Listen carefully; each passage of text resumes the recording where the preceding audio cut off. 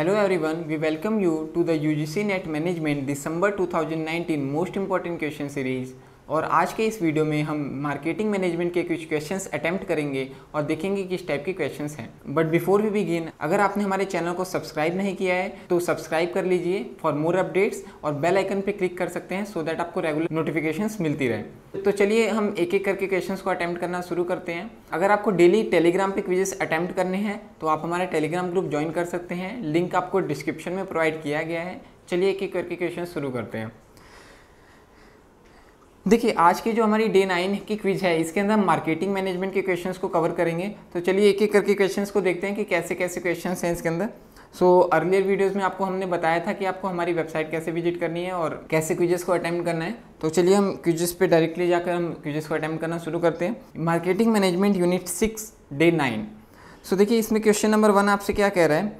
The kind of promotional strategy under which a marketer give incentives to distributor to make him sell his her product is.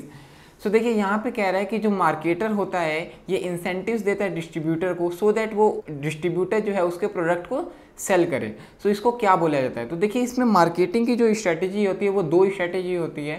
That is push strategy and pull strategy देखिए push strategy होता है जिसके अंदर marketer जो होता है वो forcefully अपने प्रोडक्ट को सेल करता है।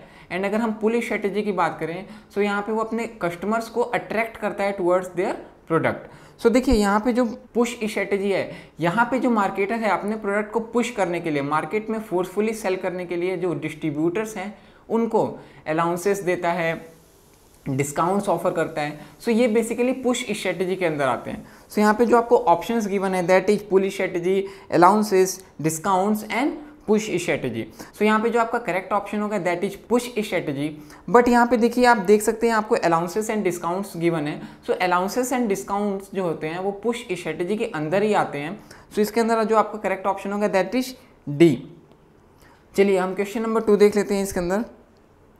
Marketing strategy is also known as so देखिए स्ट्रेटजी क्या होती है? सो so, यहाँ पे हम पहले समझते हैं स्ट्रेटजी क्या होती है? बेसिकली स्ट्रेटजी एक ब्रॉड आउटलाइन होती है कि आपको कैसे कैसे आपको अपने प्रोडक्ट को प्रमोट करना है कैसे उसको डिस्ट्रीब्यूट करना है। सो so, ये एक ब्रॉड आउटलाइन होती है एक प्लान होता है ये। सो so, यहाँ पे जो आपका करेक्ट ऑप्शन होगा that is option number C marketing planning so यहाँ पे आपका जो करेक्ट ऑप्शन है that is C situational analysis is different from marketing strategy marketing mix के अंदर आपके चार कॉम्बिनेशन आते हैं that is product price place and promotion marketing orientation का मतलब ये होता है कि हम अपने कस्टमर्स की डिमांड को देखते हुए अपने प्रोडक्ट्स को डिज़ाइन करते हैं। सो so, यहाँ पे जो आपका ऑप्शन करेक्ट होगा that is marketing planning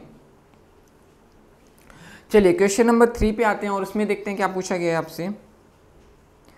Direct marketing is most suitable in case of देखिए डायरेक्ट मार्केटिंग का मतलब होता है जो मैन्युफैक्चरर होता है वो डायरेक्टली अपने प्रोडक्ट को अल्टीमेट कंज्यूमर को सेल करता है और इसके बीच में कोई भी डिस्ट्रीब्यूटर या मीडिएटर इन्वॉल्व नहीं होते हैं।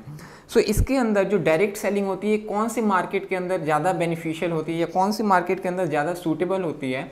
सो so, वो होता है नीच प्रोडक्ट सो so, देखिए नीच प्रोडक्ट क्या होते हैं बेसिकली नीच प्रोडक्ट किसी भी एक स्पेसिफिक सेगमेंट के लिए डिज़ाइन किए जाते हैं जिसमें वो प्रोडक्ट केवल उस सेगमेंट के ही डिमांड्स को कैटर कर सकता है वो फर्दर किसी और सेगमेंट्स में यूजफुल नहीं होगा। सो so, इसके अंदर हम एक एग्ज़ाम्पल लेके समझ लेते हैं जो इंडस्ट्रियल प्रोडक्ट्स होते हैं। सो इंडस्ट्रियल प्रोडक्ट की डायरेक्ट सेलिंग की जाती है बिकॉज़ इंडस्ट्रियल प्रोडक्ट जैसे कि मशीनरी जो होती है वो डायरेक्ट मैन्युफैक्चरर्स परचेज करते हैं। इसको हम रिटेल मार्केट के अंदर सेल नहीं कर सकते। सो so, इसको जो मैन्युफैक्चरर्स होते हैं वो डायरेक्ट सेलिंग करते हैं बिकॉज़ यहाँ पे उन्होंने नीच एक सेगमेंट बना रखा है। दैट इज़ उनका जो मार्केट सेगमेंट होगा सेलिंग के लिए वो होगा मैन्युफैक्चरर्स सो so, यहाँ पे जो आपका करेक्ट ऑप्शन होगा that is niche product D.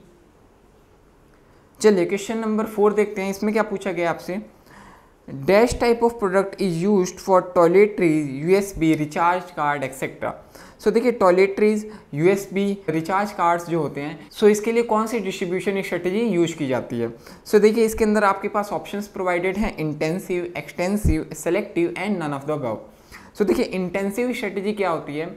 यहाँ पे इंटेंसिव डिस्ट्रीब्यूशन होता है। मतलब कि आपके जो प्रोडक्ट होंगे, हर एक डिस्ट्रीब्यूटर के पास अवेलेबल होंगे।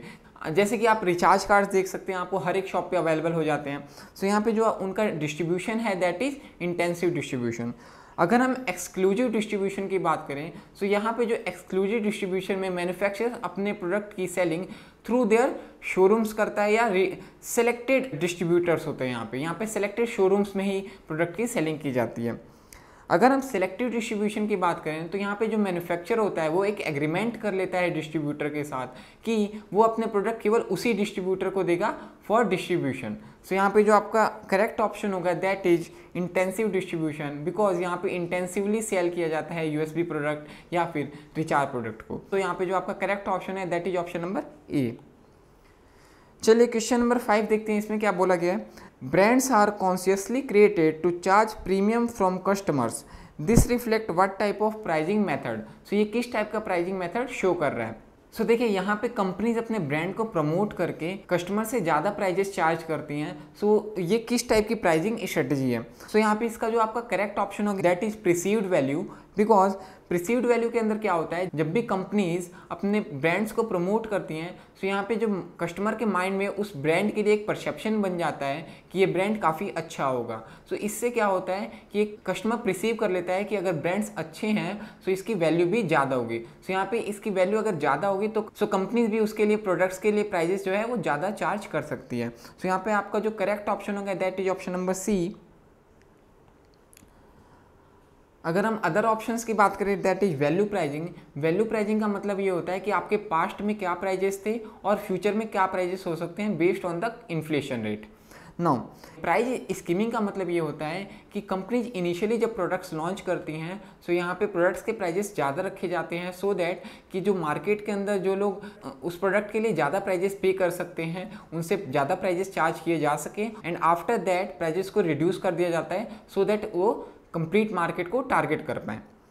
अगर हम डिस्क्रिमिनेटरी प्राइजेस की बात करें तो डिस्क्रिमिनेटरी प्राइजिंग मोनोपोली फॉर्म में यूज़ की जाती है। यहाँ पे डिस्क्रिमिनेशन किया जाता है प्राइजेस के लिए बिकॉज़ यहाँ पे जो ज़्यादा पे कर सकते हैं उनसे ज़्यादा प्राइजेस चार्ज किए जाते हैं और यहाँ पे जो कम पे कर सकते हैं उनसे कम प्राइजेस चार्ज किए जाते हैं।